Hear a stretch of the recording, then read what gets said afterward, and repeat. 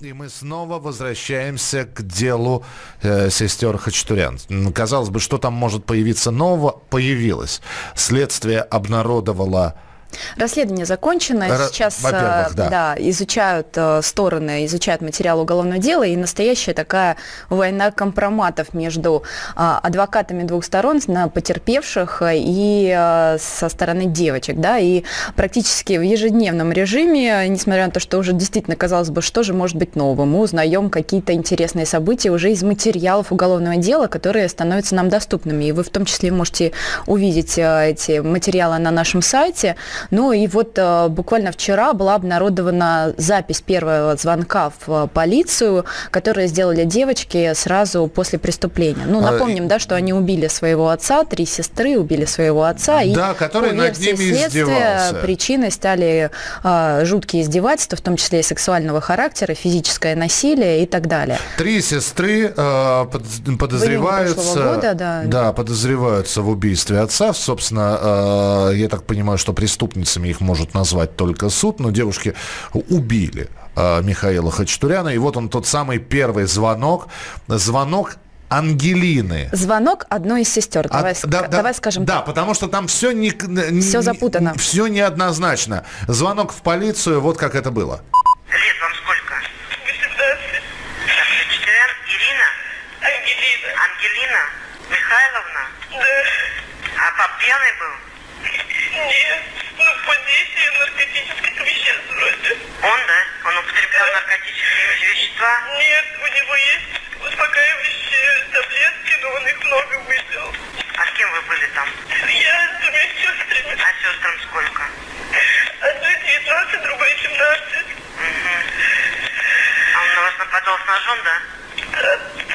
А кто именно ножом убил отца? Я. Вам, да?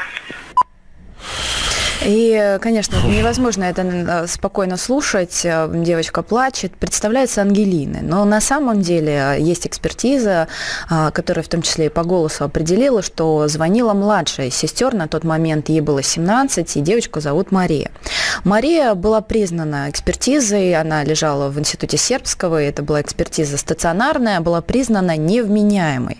И, зачем она называлась именем другой сестры? А, объяснить это не может ни один психотерапевт, потому что то состояние, в котором она находилась э, в эту минуту, оно не поддается ни, никаким э, нормам, да, то есть она не понимала, что она говорит, не понимала, что она делает, зачем она это делает, а, то есть, э, ну, она была в невменяемом совершенно состоянии. Поэтому вот эта запись, да, которая была обнародована, предположительно, что обнародовали ее родственники, которые сейчас пытаются де- сделать из девочек монстров, она ни, ни, никаким образом не может быть использована как доказательство. Почему? Потому что, повторюсь, она в этот момент была в невменяемом состоянии. Есть заключение. Есть заключение, экспертов, есть до- да. экспертов, есть документы о значит, что, что согласно этим выводам у Ангелины и Марии до преступления наблюдались пониженное настроение, суицидальные мысли, в том числе из-за насильственных действий сексуального характера. Все это происходило на фоне уже имеющегося синдрома жестокого обращения, обострение посттравматического расстройства, защитно-оборонительная реакция непсихотического уровня, протекавшая с сильным эмоциональным и психомоторным возбуждением. Сестры воспринимали обстановку в семье, это тоже мнение мнение эксперта из уголовного дела, сестры воспринимали обстановку в семье как угрожающую их жизням и здоровью. Об этом свидетельствует совершенное на протяжении нескольких лет отцом насильственные действия сексуального характера, психологические и физическое воздействие на них. То, что это звонила Мария, в том числе подтверждает и адвокат одной из сестер Хачатуряна, Алексей Липскер. Давайте услышим его прямо сейчас в эфире. Алексей, добрый Она день. является, скажем так, одним из фактов да, того, что был звонок. То, что звонок был сделан Марии Хачатурян, мы это подтверждаем, однако хотим обратить внимание на то, что Мария была, во-первых, признана невменяемой судебно-психиатрической экспертизы на момент совершения деяния. Кроме того, у нее был ряд, скажем так, э, травм психических установлен, которые говорят о том, что ее психическое состояние было нестабильно и могло влиять на ее действия и поведение непосредственно после совершения криминированного ей деяния. Речь в том числе идет и о том, что она могла звонить скорую помощь в полицию и давать каким-либо образом объяснение при описании случившегося анализа и первичных показаний. Поэтому мы считаем, что, учитывая ее психическое состояние, нельзя давать какой-то вывод ее действиям в данном случае. И использовать их, тем более, в качестве каких-либо доказательств по уголовному делу. А, это был адвокат одной из сестер Хачатурян, Алексей Липскер. А, скажи мне, Настя, э, все, что мы сейчас услышали, а, звонок в полицию, есть еще и видео, кстати, на сайте можно посмотреть, это вот первое видео. Видео первого допроса, да, точно так же имеется...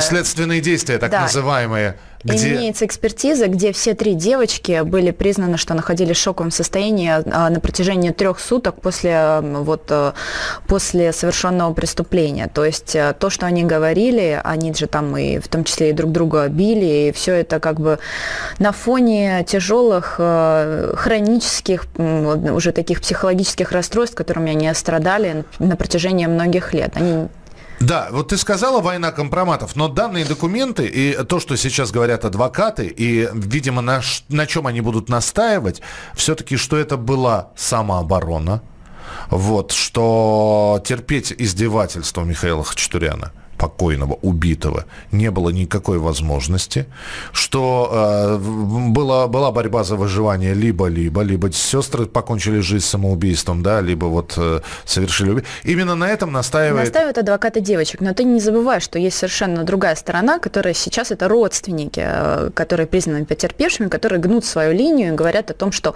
э, Михаил, он был э, просто вот святым человеком и дочек очень сильно любил, и вот один из тех... Настя, подожди, подождите, подожди. Я, значит, э, о покойном либо плохо, либо хорошо, либо никак, да, вернее, либо, либо, хорошо. либо хорошо, либо никак, плохо не говорят. Э, и тем не менее, то, что появляется, ну, ребят, родственники могут называть его святым человеком, но мы видели переписку Хорошо, переписку можно подделать. Мы фотографии слышали... избитых девочек. Мы видели фотографии избитых девочек. Ладно, сами себе травму нанесли. Ну, то есть под, подо все можно найти. Но когда мы слышим телефонный разговор, когда он не стесняясь дочерей, когда мы видим видео, когда он, не, он сам снимает, не стесняясь, матерится, я не, как сапожник это ничего не сказать. Он просто кроет матом эти... Они стоят, бедные, они глаза на него поднять не Боятся могут. посмотреть.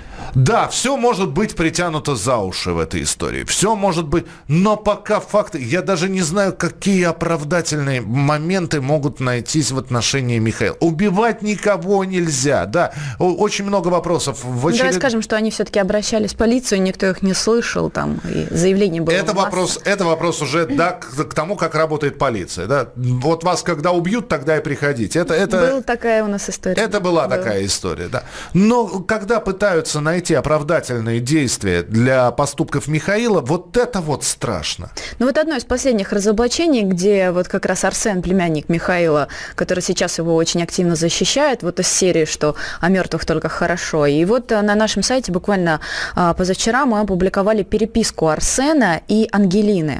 А, к нему случайным образом попадает фотография Ангелины, у которой из головы просто хлещет кровь, и он... А, и он называет э, э, Михаила чертом Говорит, просто. это черт, девочки, молчите, ничего никому не рассказывайте. Ну и опять же а, пытается материться в его адрес и говорить, что ну вот это последний человек, но вот сейчас это главный свидетель против девочек. Настя, и сейчас он его защищает. Он Почему? его защищает. Ну, как объясняет этот адвокат, адвоката и как вообще это можно объяснить с точки зрения психологии, что сейчас а, вот родственники, они занимают сторону мамы Михаила, которая же вот э, потеряла сына и при этом приобрела неплохое наследство. И сейчас а, она распоряжается всем имуществом, которое есть у семьи. Ну и, соответственно, очень многие хотят быть рядом с ней, угодить ей, и вот, э, вот, вот такая черта. Подождите, я понимаю, что там еще вопрос наследства. То есть вы понимаете, какой это клубок запутывается. Но мало того, что девочки должны получить какой-то приговор суда. Они вот. сейчас очень переживают, что от них отвернулись все родственники, практически все. Да, они находятся, я по-прежнему напомню, они находятся под домашним, под домашним арестом. Под домашним да. арестом там ряд ограничений, э, которые они невозможно э, их приступить. Они могут, по-моему, даже с собой общаться или общаться только в присутствии свидетелей. Ждем приговора. Там же еще и наследство. А с каких это пор разве, разве наследователь первой правой руке это родители, а не дети. Ну, дети под следствием сейчас, поэтому практически все имущество унаследовала мама, которая вот и сейчас... А из имущества там что, Настя? Ну, там и недвижимость, и автомобили, то есть довольно много. И, ну и а, напоминаю, что сейчас а, слово последнее остается за прокуратурой. Дело либо будет направлено в суд, либо на доследствие, либо вообще закрыто. А, вот нам здесь пишут, я как милиционер просто не верю, что они обращались в полицию, им не помогли. Ну, сие есть факт. Мы будем следить за этой историей.